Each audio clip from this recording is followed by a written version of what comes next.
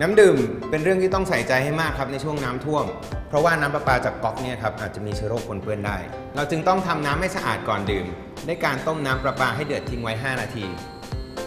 ระหว่างรอให้น้ำเย็นลงครับ ล้างภาชนะที่ใช้ใส่น้ำให้สะอาด พอน้ำเย็นแล้วเทน้ำลงไปครับ แล้วปิดฝาให้สนิท เท่านี้ก็นำไปดื่มได้แล้วครับ ง่ายๆแค่นี้ เทคแคร์ดูแลตัวเองนะครับ